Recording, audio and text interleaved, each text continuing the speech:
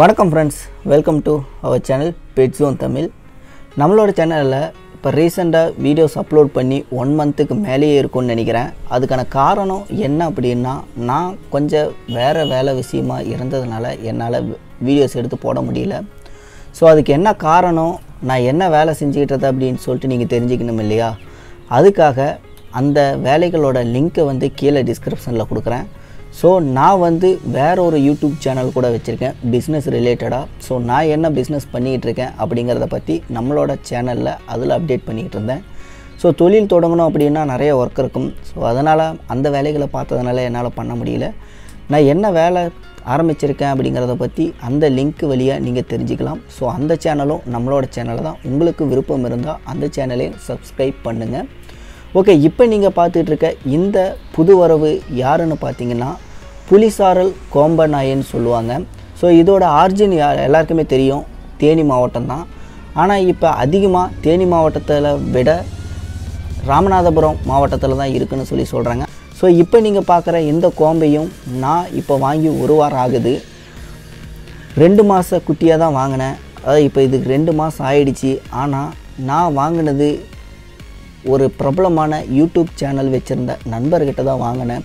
So அந்த நண்பர் எனக்கு எப்படி விதமான குட்டி அனுப்பியிருக்காரு அப்படிங்கிறத பற்றி ஒரு தெளிவான எக்ஸ்ப்ளனேஷன் கொடுக்கணுன்ட்டு ஆசை தான் ஏன்னா அந்த நண்பர் மேலே முழு நம்பிக்கையாக ஒரு கோம்பர் நாய் வாங்கணும் அப்படின்னு சொல்லிட்டு ஆசைப்பட்டு வாங்கினது தான் நமக்கு எல்லாருக்குமே என்னதான் வெளிநாட்டு ரகம் ப்ரீடு வளர்த்தாலும் நம்ம நமக்குன்னு நம்ம நாட்டு ரகத்துக்கு முக்கியத்துவம் கொடுக்கணுன்ட்டு அந்த யூடியூப் சேனல் நண்பரும் சொல்லியிருந்தார். ஸோ நாமளும் பொதுவாக எல்லாருமே நினைக்கிறதான் ஸோ நம்ம தமிழ் மண்ணை சேர்ந்த இந்த கோம்பரகத்துக்கும் முக்கியத்துவம் கொடுக்கணும் அப்படிங்கிறதுக்காக தான் அந்த நண்பர் மேலே நம்பிக்கை வச்சு நானும் ஒரு கோம்பையை ஆர்டர் பண்ணி வாங்கினேன்.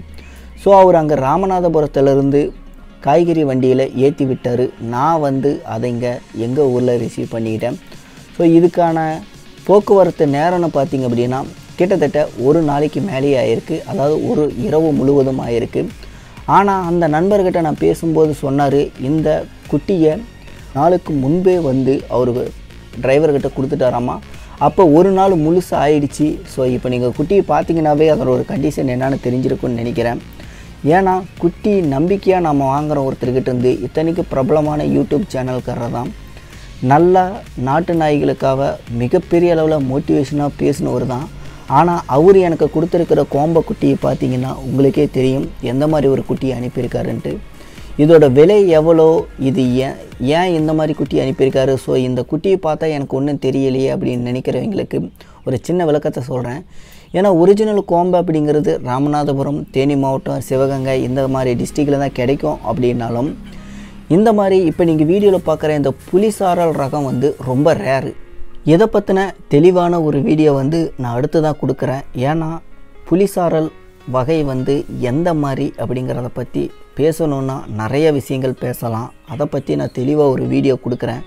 ஆனால் அந்த யூடியூப் நண்பர் மேலே வச்சுருந்த நம்பிக்கை இந்த குட்டி வாங்கினதுலேருந்து ஒரு எண்பது பர்சன்டேஜ் குறைஞ்சிருச்சுன்னு தான் சொல்லணும். ஏன்னா அவர் அந்தளவுக்கு ஒரு ஒரு ஹெல்த்தே இல்லாத ஒரு குட்டியை அனுப்பியிருக்காரு. நான் வந்து அவர் மேலே முழு நம்பிக்கை வச்சு தான் வாங்கினேன். ஆனால் இந்த குட்டி வந்ததுலேருந்து இப்போ ஒரு வாரம் ஆயிடுச்சு. இந்த ஒரு வாரத்தில் இந்த குட்டிக்கு மட்டும் நான் ரெண்டு டைம் வேக்சின் போட்டேன். ஏன்னா இதுக்கு வந்து அல்சர ப்ராப்ளம் இருக்குது அதனால தான் குட்டி வந்து இந்த அளவுக்கு ரொம்ப மெலிஞ்சு போயிருக்கு.